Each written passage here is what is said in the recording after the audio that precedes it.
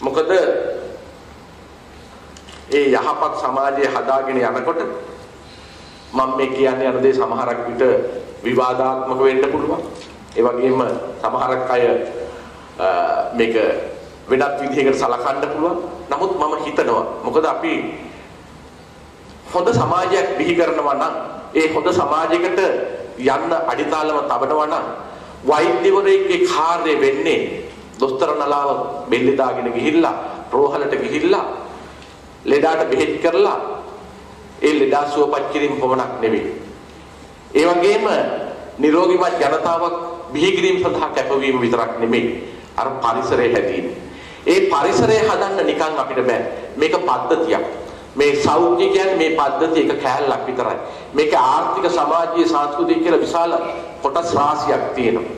ඉතින් මේ සියල්ල හොඳ නැත්තම් අපි සෞඛ්‍ය කෑල්ල විතරක් මේක හදන්න ගියාට රටක් හොඳ වෙන්නේ නැහැ. එහෙමනම් රටක් හොඳ වෙන්න නම් අනිවාර්යයෙන්ම අනිත් කියන සියලු දේවල් හොඳ වෙන්න ඕන. එහෙම හොඳ තත්වයක් ඇති කරන්න නම් අපිට සිද්ධ වෙනවා ප්‍රඥාවන්ත පුජ්‍යලයන් වශයෙන් ඥානවන්ත පුජ්‍යලයන් වශයෙන් මේ රටේ සිදුවෙන යම් යම් ක්‍රියාවයන් වලදී ඒකට හවුල් වෙන්න. ඒකට දායක වෙන්න. ඉතින් සමහරක් අය කියන්න පුළුවන් අර ඉස්සෙල්ලා මම කිව්වා වගේ වෛද්‍යවරුන්ගේ ජොබ් එක ලෙඩාට බෙහෙත් දීලා යන්නේ. නෑ ලෙඩාට බෙහෙත් දීලා යන එක විතරක් නෙමෙයි වෛද්‍යවරුන්ට අයිතියක් තියෙනවා මේ රටේ ප්‍රශ්න ගැන කතා කරන්න. ඒ වගේම මේ රටේ ප්‍රශ්න වලට මුහුණ දෙන අයට විසඳුමක් ලබා දෙන්න, ඒ අය දැනුවත් කරන්න, ඒ වගේම ඒවා සංවිධානගත කිරීමට.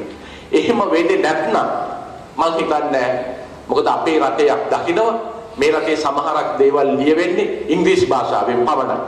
ඒවා ඉංග්‍රීසි භාෂාවෙන් ලියලා ප්‍රසිද්ධ කරනවා. නමුත් ගමේ ඉන්න ගොවි මහත්තයාවත් වෙද මහත්තයාවත් වෙනත් කෙනෙක්ටවත් මේවා කියව ගැනීම හැකියාවක් නැහැ.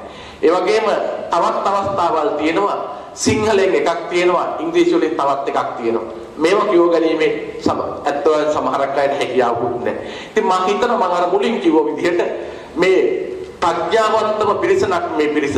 මෙයට යම් හැකියාවක් තියෙන්න ඕන මේ රටේ ඒ තියෙන දේවල් අධ්‍යයනය කරලා නිවැරදි දේ රටට එලි කරන්න, නිවැරදි දේ ප්‍රකාශ කරන්න.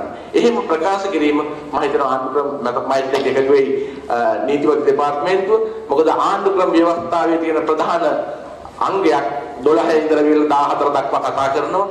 මානව අයිතිවාසිකම් ගැන නැත්නම් මිනිසුන්ගේ මූලික අයිතිවාසිකම් ගැන ඒකේ කියනවා මිනිසුන්ට හිතීමේ කතා කිරීමේ එහා මෙහා යෑමේ අයිතිය තියෙනවා. එහෙනම් වෛද්‍යවරයෙක් කියලා කියන්නේ මේ පුරවැසියෙක්. ඒ අයටත් තියෙනවා සාමාන්‍ය නිදහස, ඒ අයටත් තියෙනවා අනිත් අය දැනුවත් කිරීම සහ බල ගැනීමේ ක්‍රියාවලිය. මම හිතනවා වෛද්‍යවරයෙක් වශයෙන් හෙට ඉන්න ඉන්න තමුන්නාන්සලට මේ අවස්ථාවේදී වෛද්‍ය වෘත්තියට එහා ගිය තවත් වෘත්තියක් කරන්න තියෙනවා කියන එක මගේ මතයයි කියන එක මම ප්‍රකාශ කරනවා. රාජ්‍ය පරිපාලන අමාත්‍යාංශයේ ලේකම්වරය වශයෙන් නෙවෙයි සාමාන්‍ය පුරවැසියෙක් වශයෙන් මම මේක විශේෂයෙන් මේ අවස්ථාවේදී ප්‍රකාශ කරනවා